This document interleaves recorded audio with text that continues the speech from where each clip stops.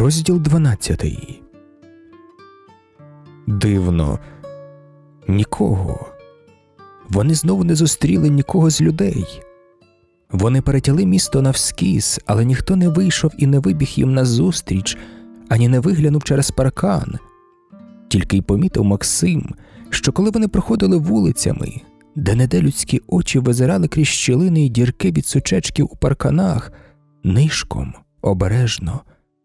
А може, то йому так тільки здавалося? Взагалі ж навколо була пустка. Лише вони, колона смертників, бігли серед тієї пустки, бігли по мертвому, убитому в землю, втоптаному геть у болото місту, колона блідих істот, виваляних у смітті, в крейді, в глині. Та ще високо-високо в небі кружляли стрижі, ген там, над собором. Але ні, то були не стрижі і не над собором то лише в тому напрямку, де був колись собор, над хрестами якого колись було все кружляли в блакитному зеніті стрижі, там десь, геть-геть далеко, кружляли з граєю літаки, а коло них раз по раз з'являлися кудлаті баранці вибухів. А коли вже колона пробігла всі вулиці і звернула на останню, до них таки вибігла людина. Це було на вулиці Широкій, на тій самій широкій магістральній вулиці, яка вела вже геть із міста на схід і на якій була та розбомблена тюрма. Колона поминула ливарний завод, що стояв край великої площі, де починалася широка, і звернула в вулицю по розквашеній, по коліна розмішані грязюці. Варта притискала колону до парканів, панічно тиснучись до тих парканів сама перед літаками, що вже кружляли низько над містом воючий. На шосе не було нікого, лише на пішоході, відокремленому від шосе глибокою канавою, рухалася ця колона, притиснена до парканів і гнана в чвал, виривалась із під вогню. І тут до них вибігла людина. Невідомо звідки вона взялася. В колоні почулись навіть здивовані вигуки, і всі в колоні почали повертатись обличчями ліворуч. Там, на шосе, паралельно колоні бігла жінка, по коліна в грязюці, боса, простоволоса, розхристана. Вона бігла боком і тримала в руках дві ікони, дві почорнілі дошки, Спасителя й Марії з дитям. Вона підіймала їх високо над головою і хрестила ними колону. Бігла боком і хрестила, і хрестила. Очі її були божевільно витріщені. Вона безумно щось кричала без слів і без звуку.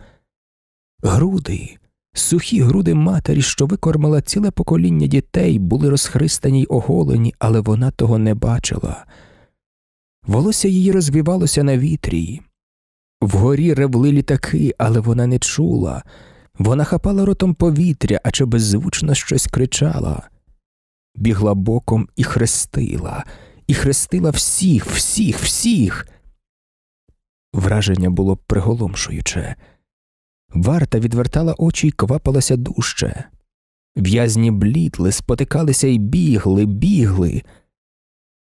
А Максим дивився на розхристану, збожеволіло від великого великого відчаю матір і відчував своїм серцем справжній трагічний зміст усього цього.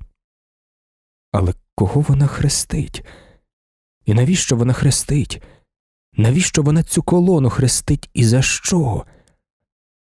А, це вона хрестить, мабуть, того рябого подзьобаного віспою солдата, того офіцера з окремої червонопрапорної. Дай людям хліб. А жінка задихалася. Вона хрестила не когось одного, вона хрестила всіх, всіх. Вона вже відставала, безсиліла, але не хотіла відстати так ніби це вона хоронила єдину й останню свою надію і не хотіла хоронити, хотіла її вирятувати, вирятувати. І здавалось, що вона кричала без слів тим криком відчаю, що ним кричали колись її предки й предки всіх тих, що бігли в колоні, коли ті предки прагнули вирятувати свого повергнутого безодню земного бога, волаючи Видибай, видибай, Боже. Хтось поруч Максима плюнув і по босяцькому розсипався похабною лайкою. Тоді другий хтось, схлипуючи спазматично, на ходу з усієї сили вдарив того першого в вухо, вдарив понуро, страшно, здоровенним своїм п'ястуком, як довбнею. Вдарений полетів сторч головою в глибоку канаву повну води. Колона бігла мимо, варта теж. Ніхто й не думав зупинятись, ніхто й не думав витягати. Бігла колона і бігла жінка. Вона зовсім не бачила, що там трапилось, бо вона взагалі нічого не бачила. Вона лише бачила суцільну сіру масу людей, десь ведених на страту, і не хотіла з ними розлучатися, мов це вели останніх людей, що були ще на цьому світі. Та помалу жінка відставала. Грязюка була надто глибока, сили надто слабі. Вона відставала помалу, але все ще бігла і все хрестила, хрестила. Коли вибухла десь позаду бомба, Максим саме в ту мить озирнувся і бачив, як у відсвіті спалаху жінка високо змахнула руками, мов крилами, і кони полетіли геть, а вона з усього маху розпласталась у грязюці. Ця картина мигнула й погасла, промерехтіла, як при світлі магнію чи при спалахові блискавки, після чого стало темно. Світло денне померкло від сажі й диму, чи, може, від туману в очах. Це був останній кадр із рідного міста. Це була остання людина, остання жінка, остання мати, що вийшла їх проводжати.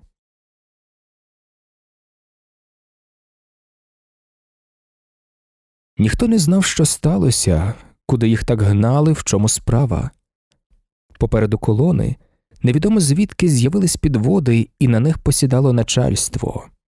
І от наявність тих підвід із усім начальством спереду збивала з пантелику, збивав з пантелику й такий темп, і те, що колона рухалася на схід, і така кількість комбінованого конвою, військового і цивільного. Люди питали один одного поглядами, питали й пошепки, але ніхто нічого не знав. Потім поповзли дві чутки одна тривожна, друга єхидна. Тривожна, що їх ведуть на великий показовий суд і на розправу десь у Гайворон чи навіть у Харків. Єдина відступають, вириваються, втікають. Але друга не виключала першої. Власне, тільки підтверджувала тут не можуть зробити над ними суду, бо відступають, а тому зроблять це десь в іншому місті. А зроблять якщо раніше не вистріляють без ніякого суду. Але взагалі ця чутка щодо суду це був, либонь, лише здогад.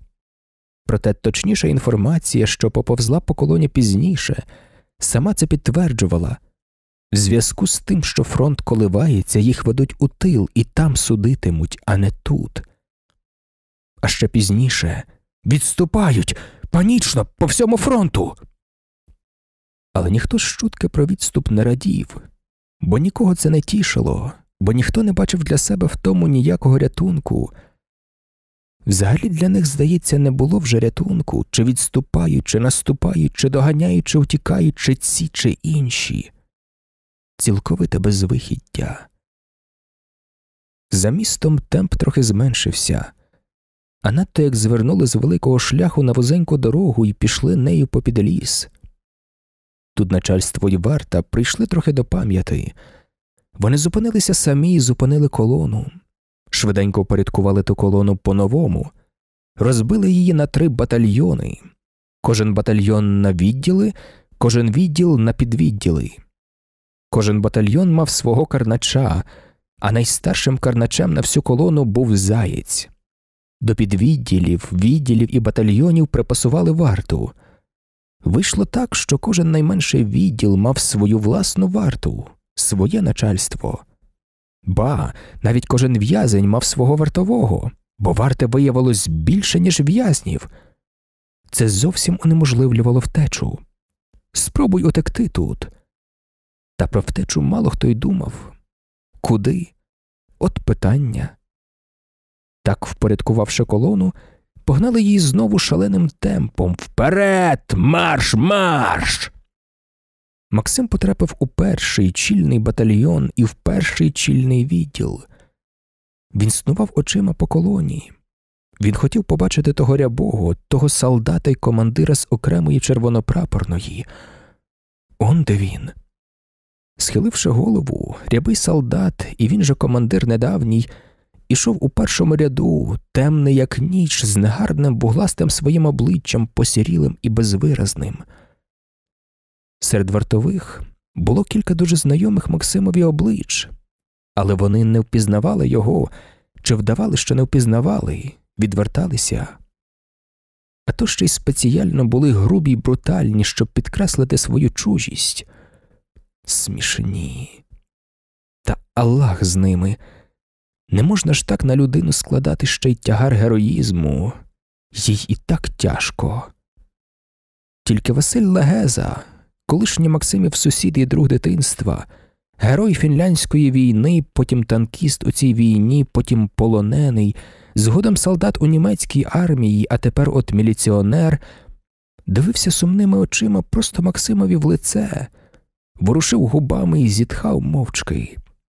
Ніби він хотів щось сказати, та не міг. Був він Василь Лагеза, начальником варти того відділу, що йшов зразу за Максимом. Мавши змогу відходити у бік, Василь доганяв останню шеренгу, в якій був Максим, і йшов мовчки якийсь час поруч. Потім зітхав ні до кого і відставав собі.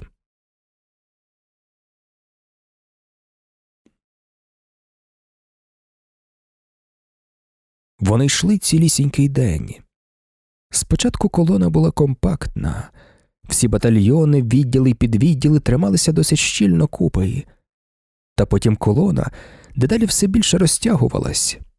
Скоро вона розтяглася на добрий кілометр, то її розтягувала так утома й виснаження. Вже надвечір у колоні були такі, що цілком вибилися з сил.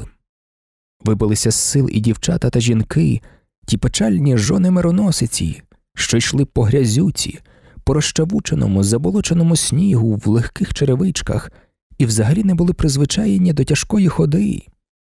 Така дорога була їм понад силу взагалі, надто ж після кількох діб тюрми, після голоду, жаху, безсоння, крайнього нервового напруження, сліз, відчаю.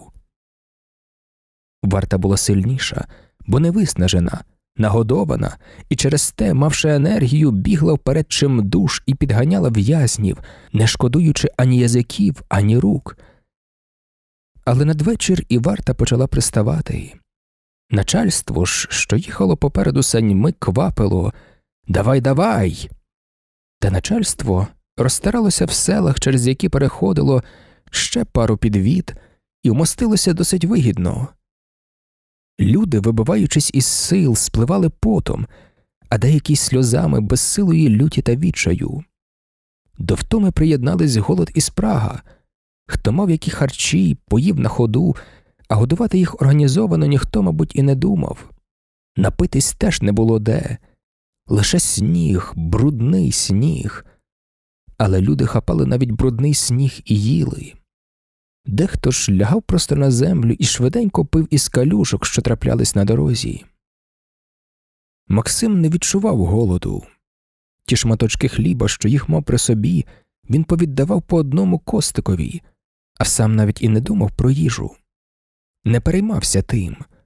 Він і нічим не переймався, ішов собі так от, як автомат, байдуже, занурюючись ногами в болото й сніг і лише часом спотикався. Він не дивився ані собі під ноги, ані навіть навколо себе. Він дивився сам у себе, в свою душу, трагічну шараду, якої не міг розв'язати.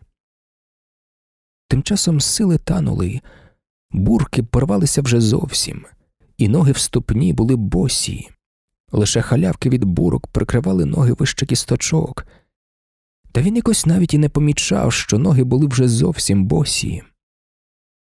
Надвечір відчувалася лише всепожираюча, все затьмарююча втома і бажання лягти, і геть про все, про все забути. Але то було неможливо, їх гнали і гнали вперед, і, здавалося, тому кінця не буде. хтось ніби заповзявся зламати їх усіх геть на цурпалля, обернути в ганчір'я, розтіпати геть на лико. При думці згадувався Котузов, і тоді Максим зціплював зуби, затинаючись. Коли вже й варта здебільшого почала приставати, а до того ще завечоріло, і з'явилась потреба тримати колону щільніше, щоб не розтяглася безконечно і не розгубилася, тоді, за розпорядженням начальства, почали робити короткі привали. Цебто голова зупинялась і чекала, доки підтягнеться хвіст. Зупинившись, люди падали на землю, де стояли, опановані єдиним бажанням перепочити, хоч мить, хоч коротку мить, і так лежали, доки підтягався хвіст. Але Максим не лягав, бо знав, як потім тяжко підводитись, і що такий відпочинок тільки ще дужче послаблює. Через те він під час привалів стояв, відпочиваючи на ногах. Як тільки підтягався хвіст колони, лунала команда Марш! І колона рушала далі. Ті нещасні, що пленталися в хвості, не мали змогу бодай припасти до землі, хоч на одну мить, щоб хоч упитися ілюзією відпочинку. Підтягнувшись, вони тюпали далі, доганяючи колону й уже знову починали відставати. Така логіка, така діялектика цього жорстокого світу. Слабий приречений загибати, і він загибає сам, а сильніший. Сильнішого добивають. Так колона з привалами сурганилася крізь імлу, крізь темряву. І в цій темряві Максим побачив раптом і зовсім виразно, що так сурганиться разом із ним десь цілий світ.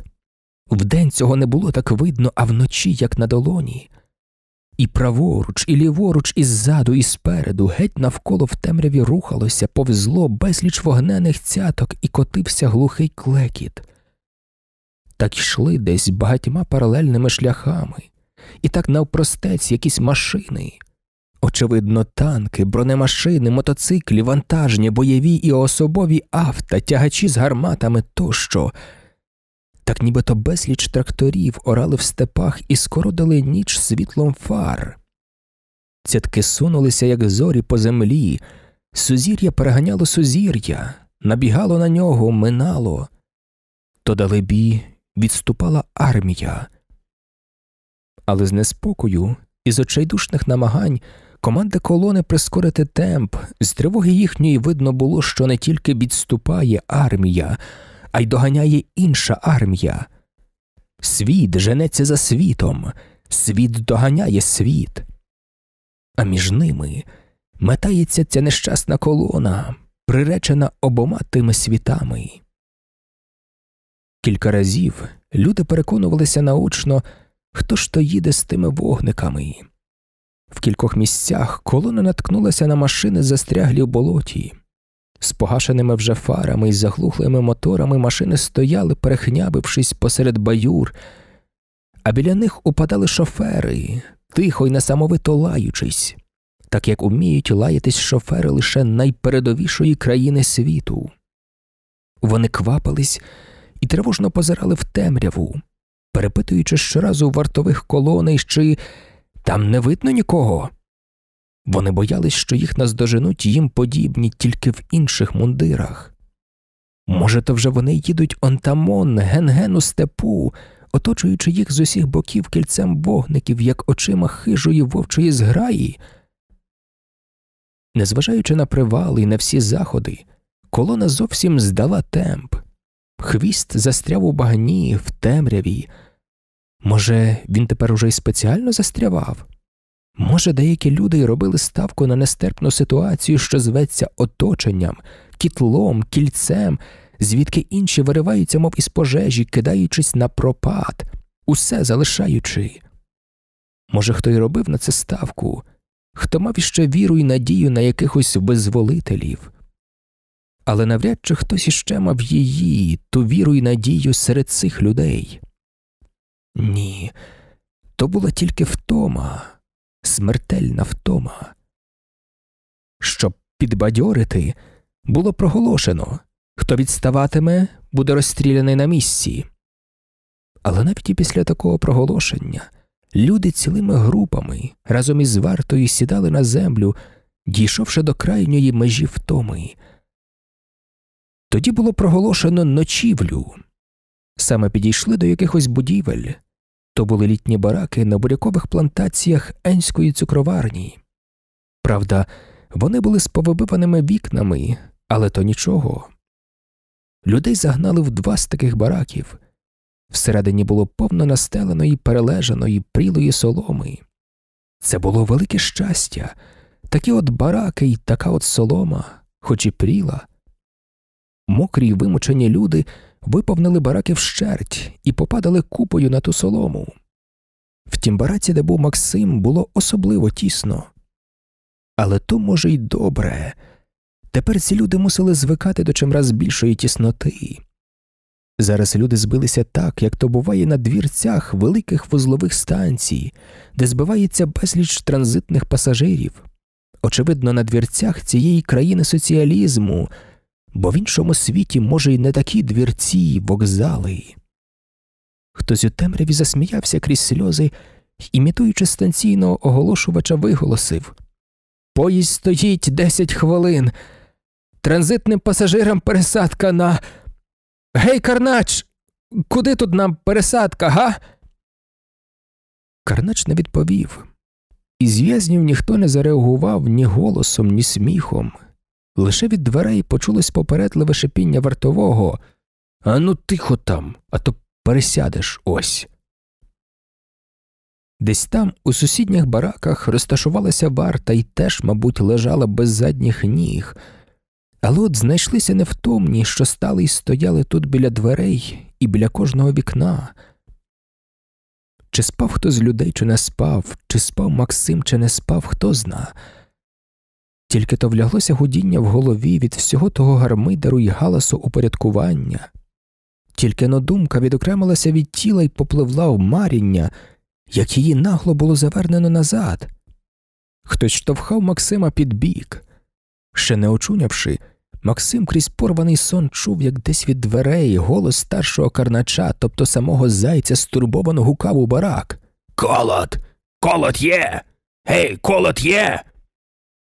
Ніхто йому не відповідав. Колот! Тоді саме хтось почав тихо й тривожно штовхати Максима під бік. Ну, що? спитав байдуже Максим. Він спитав тихо того, хто штовхав але відповів від дверей голос зайця. Нічого, так значить, ти є. Максим помовчав, а тоді апатично, після павзи. Голубе дорогий, та чи не пішов би ти до чортової мами? Всі у бараку засміялись, всі попрокинулись, розбуджені тим карначем, і були люті на нього за те, що наробив галасу і зіпсував всім сон. Заєць нічого не відповів. Він був дуже задоволений, що втрата знайшлася, і пішов собі геть. Так, сказав хтось понуро.